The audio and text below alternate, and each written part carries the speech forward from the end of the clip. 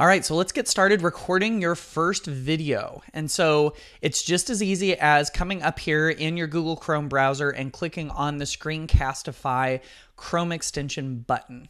And so once that pops open, you can see that we've got multiple options here. You can either decide to record with your just record the browser tab that you have open. So just this particular tab in the Google Chrome browser. But you can also record everything that's going on in your screen using the desktop button. So that's just recording the entire screen no matter what you have open. But then what's also really cool is that you can just record your webcam. Like forget the screen, you just want to record a, you know, just a recording through the camera, like through this this webcam that I'm using right here, it would only just record that. So you've got that option. And I think that's one of the coolest options that this this whole thing has is that that we can we can kind of pick and choose between all of these. So let's say we want to only record this browser tab. There are some options that we can select under that too.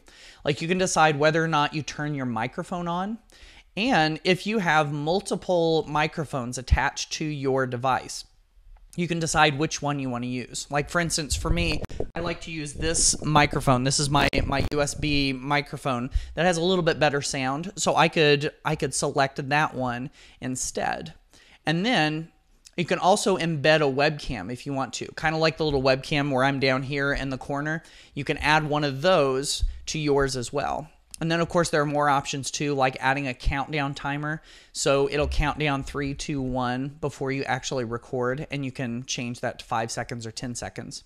You can also show the drawing tools if you want to annotate on top of your video, but then you can also turn on the tab audio. And that's if, you know, if there was a little bit of audio, if there were some sound effects or something coming through the web page, it would record those also.